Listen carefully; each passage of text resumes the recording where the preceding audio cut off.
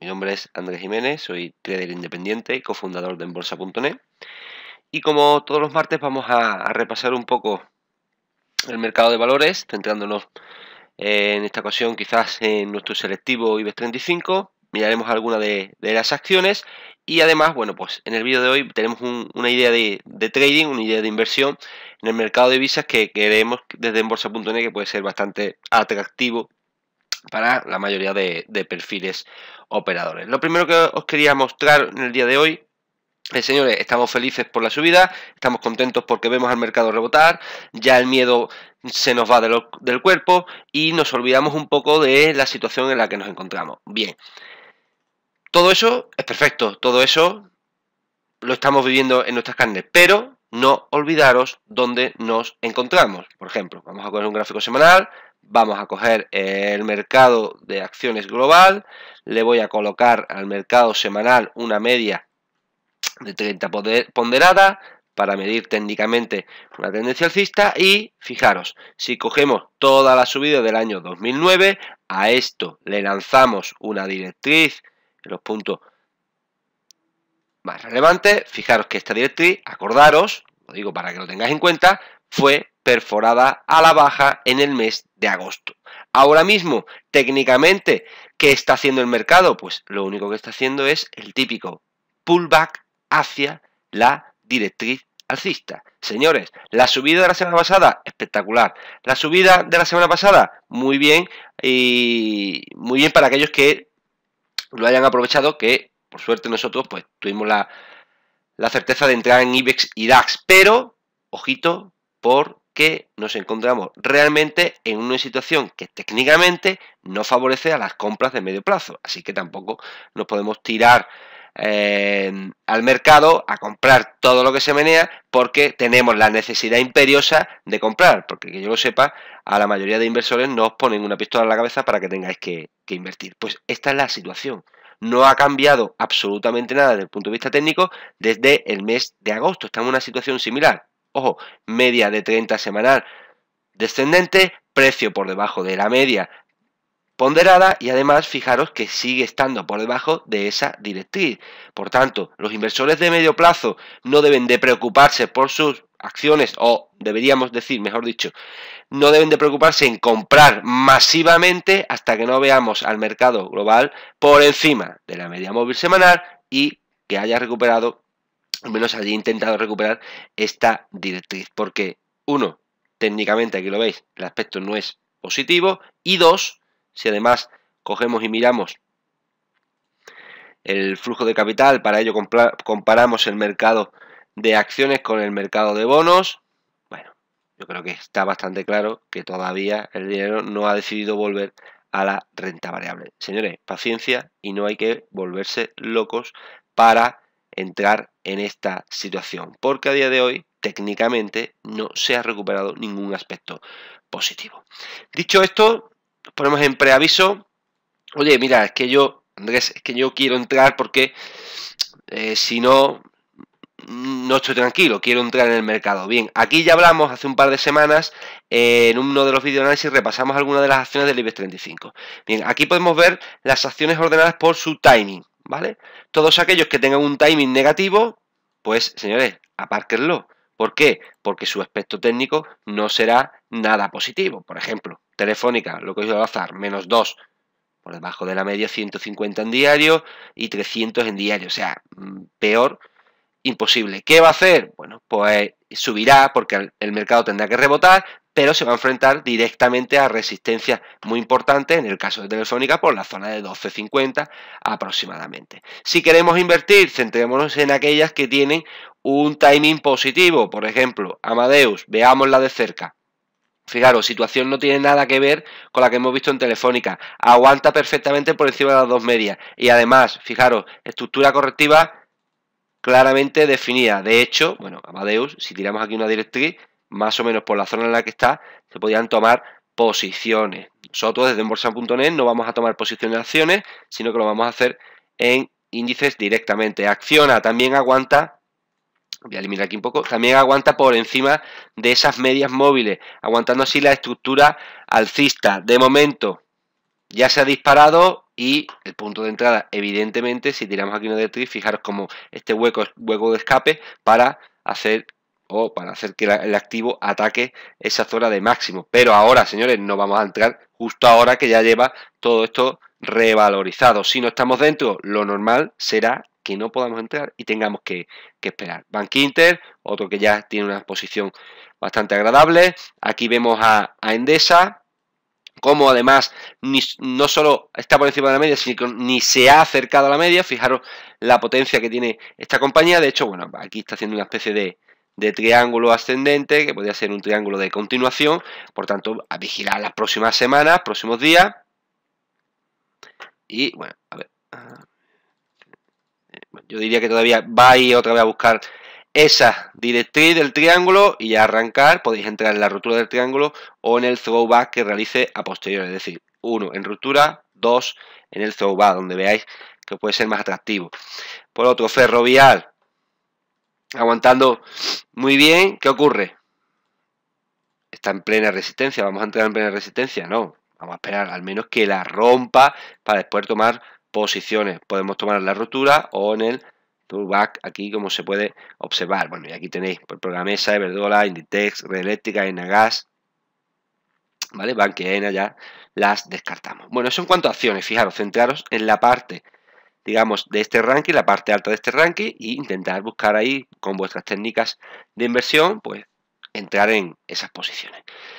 Vamos ya ahora al IBEX 35, un poco a seguir un poco esa idea que llevamos planteando varias, varias semanas, que bueno, por, sobre todo por desgracia, tuvimos la oportunidad o la virtud de entrar en posición, eh, digamos, no recuerdo más, fue el 1 de octubre, cuando superó la zona de los 9.614, y de momento ahí estamos dentro de este activo con la idea de llevárnoslo a la zona de 10.750. De momento ya vamos por el ratio 1,5, con lo cual alguno de nuestros seguidores pues ya ha ido eh, cerrando parte de la exposición, ha ido modificando eh, el stop. Ahora bien, señores, Subida vertical, no pensar que va a llegar a 10.750 sin recortar. Lo normal será que retroceda. Bien, si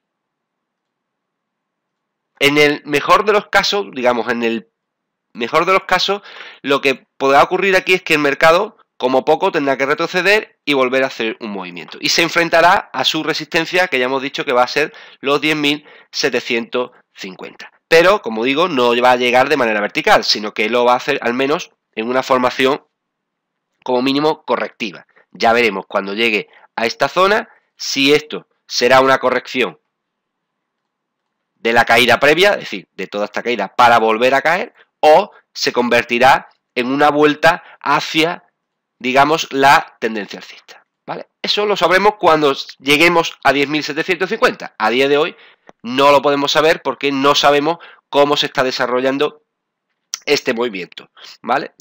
Pero ahora nos tenemos que centrar en una primera instancia, debería de llegar a los 10.750. Pero evidentemente no lo va a hacer de manera directa, sino que tendrá una pequeña corrección por el camino para después moverse al alza. Entonces, Los que no estén dentro, los que estén dentro, bueno, pues ya están disfrutando de ese movimiento. Los que no lo estén, pues tienen que esperar. ¿Esperar a qué? A que se produzca esa corrección del mercado. Fijaros, en un gráfico de 4 horas ya vemos algún que otro síntoma de agotamiento, ¿vale? Fíjense, ha marcado nuevos máximos y ya hay una divergencia bastante eh, interesante en el gráfico de 4 horas. De todas maneras, nos vamos a ir al de 2 horas para poder desarrollar un poco más, eh, digamos, el movimiento. Ahí lo tenemos perfecto. Fíjense, por este nivel tomamos posiciones y síntomas de agotamiento en este movimiento, divergencia. Además, coincide con resistencia. Resistencia más divergencia. Sigamos. Vamos a tirar un nivel de FIBO de todo este movimiento de 5. Fijaros, 1, 2, 3, 4, 5. Vamos. Fibonacci. 50%. Tenemos divergencia, resistencia, 50% de FIBO. 3. Y ahora, bueno, vamos a tirar una directriz. Y también pasa por ahí. Tenemos directriz, divergencia, 50% y nivel de resistencia. Señores, ¿va a pasar por ahí alegremente? En principio, no. Es un síntoma el actual que nos puede marcar el inicio de esa corrección que hemos hablado anteriormente o de esa caída del IBEX para coger un poco de aire y después atacar? Probablemente. Por tanto, señores, no sería de extrañar que durante esta semana veamos al IBEX 35 retroceder. El que tenga la operación del IBEX 35 y quiera aguantar para llevarse los 10.750 porque lo ha planteado desde el punto de vista de una operación de medio plazo, no tiene que hacer nada. Simplemente aguantar el tipo en la corrección que se vaya a ver para después llevarse la alegría cuando se acerque a 10.750. El que sea un operador más activo, más dinámico, el que vaya al día a día, el que esté siguiendo al mercado todos los días con su móvil, la tablet, el ordenador, con todos los dispositivos que tiene, puede plantear alguna estrategia. Por ejemplo, oye, tiro aquí una directriz que ya es demasiado, digamos, eh, agresiva, pero tiene un nivel, yo creo que de relativa sencillez, como son los 10.050 puntos, en el que puedes decir, oye, pues cierro la posición, me llevo esa parte de beneficio y a partir de ahí voy a intentar plantear una estrategia de compra. ¿Por qué? Porque ya hemos dicho que el mercado lo que va a hacer es coger aire, y aquí tiene un nivel de Fibonacci, y ya os digo que me gusta bastante el nivel de 61, o sea que no sería de extrañar que viésemos al IBE en la zona de 9.700 puntos, coja aire para irse a la zona de los 10.750. Es decir, generaría otra señal de entrada en este punto. Para los que no estáis dentro, tenéis que esperar a que se forme esta corrección. Cuando se forme esta corrección, no os preocupéis que como estamos todos los martes en el video análisis, os diremos, iremos siguiendo esta pauta. Los que estén dentro, si no quieren estar saliendo y entrando, pues que mantengan la caída para llegar al objetivo de 10.750. Los que tengan una actividad mayor, bueno, pues pueden cerrar posiciones, incluso con la pérdida del mínimo del lunes, pueden cerrar y esperar a que se produzca la corrección para volver a incorporarse en el punto de ataque hacia la zona de los 10.750. Bueno, pues aquí tenéis eh, esta es un poco la previsión que tenemos para el IBEX 35 y es la que iremos siguiendo a lo largo de la semana que viene, como todos los martes, en el vídeo análisis. Y ahora, ya para finalizar, de forma rápida, os presento una idea de inversión que además se activó ayer lunes y que creemos que es bastante interesante. Con lo cual, bueno, ya aprovecho, os la cuento y el que quiera acompañarnos en esta aventura, pues lo puede hacer. Aquí veis, es la libra contra el dólar canadiense. ¿Vale? Es una divisa. La estructura, me parece una estructura eh, digamos, ya en su gráfico diario me parece una estructura bastante bonita. ¿Por qué? Porque aquí podemos ver cómo una pauta de helio sencilla, 1, 2, 3, 4, por tanto todavía quedaría el movimiento número 5. Ese movimiento número 5 lo debería de llevar más o menos hacia la zona de 2.15, 2.18, por tanto, fijaros que sería relativamente sencillo que fuese a buscar la zona de máximos. Los inversores tranquilos tiran una directriz y entran en la superación. Pero, como sé que vosotros, la mayoría o muchos de vosotros sois inversores inquietos, vamos a intentar anticiparnos al giro que se pueda producir. Además, fijaros aquí el indicador NB señales, como me está diciendo, oye, cuidado que esa corrección que se está viviendo ahora puede estar terminando. Y entonces nos vamos a un gráfico, por ejemplo, de 4 horas. Y aquí ya tendré yo marcado todo, pues no lo tengo marcado, con lo cual mm, mejor, porque así lo vais a ver en directo.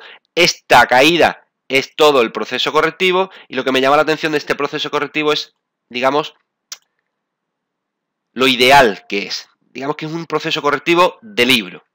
¿vale? Y cuando digo de libro, digo que es una operación que podrá salir bien, podrá salir mal, pero hay que hacerla. Yo, como inversor, la tengo que hacer. Bueno, aquí veis toda la estructura. La estructura correctiva, o sea, aquí vemos A, B y C.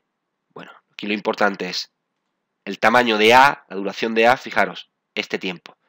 B dura más que A, perfecto. Eso es típico de las correcciones ABC. Una B desestructurada en tres movimientos. Una onda C desestructurada en cinco. Uno, dos, tres, 4 y 5. Y lo más importante, lo más importante, divergencia final de A, aquí lo veis, divergencia final de C. Lo que es un patrón correctivo, digamos, del libro. Por eso digo que podrá salir bien o podrá salir mal, pero mi obligación como inversor es atacar a esa estructura. ¿Dónde la voy a atacar o dónde la hemos atacado? Tiramos una directriz en lo que sería ya la onda número C y en esa superación, fijaros cómo está terminando el día con una vela de 4 horas bastante importante con rompiendo esa directriz. Aquí tendríamos que tomar una posición. Hemos tomado posición digamos, en los niveles de 1,9925, digo los parámetros para que lo tengáis, hemos colocado el stop por debajo, 97,50 y tanto, y hemos marcado un objetivo 209. He dicho que como mínimo debería llegar a la zona de máximo, con lo cual esta operación realmente es una operación de un ratio muy cerca del ratio de 6,1. 1, 2, 3, 4, 5, 6. Fijaros, hay ratio para repartir. Esta es una de las ideas que hemos planteado esta semana desde Enbolsa.net para buscar ser bastante ambicioso y buscar ese ratio pues 5, 6, 1 que podemos ver en pantalla. Bueno, espero que os haya gustado el videoanálisis de, de esta semana. Recordad, nunca olvidar la situación en la que nos encontramos. Todavía el aspecto técnico no es positivo, el dinero tampoco ha vuelto a, a las acciones. Por otro lado, después de la subida de la semana pasada, ya vemos síntomas de agotamiento en ese movimiento, con lo cual eso el mercado lo va a sanear y la única forma de sanear es, uno, consumiendo tiempo o dos, consumiendo, digamos, profundidad. Y el nivel más profundo del IBEX 35 podría ser los 9.700 puntos. El que esté dentro y no quiera andar en líos de cerrar y para después abrir, puede mantener posiciones y esperar al objetivo de 9.750. El que sea muy activo puede cerrar posiciones en la rotura del mínimo de, del lunes y esperar a que se forme esa corrección para después volver a incorporarse. Y el que no esté dentro, pues que espere la corrección. Y en el caso de la Libra CAT, hay que tenéis una idea de, de inversión con un ratio bastante ambicioso. Como veis, la idea nace de un patrón correctivo, digamos, casi perfecto, pero que la obligación como inversor es operarlo porque si no operamos un patrón de este tipo, ¿cuándo vamos a invertir? Un saludo, mi nombre es, Andrés Jiménez, cofundador de Embolsa.net y nos vemos la semana que viene en el video análisis de la semana. Hasta pronto.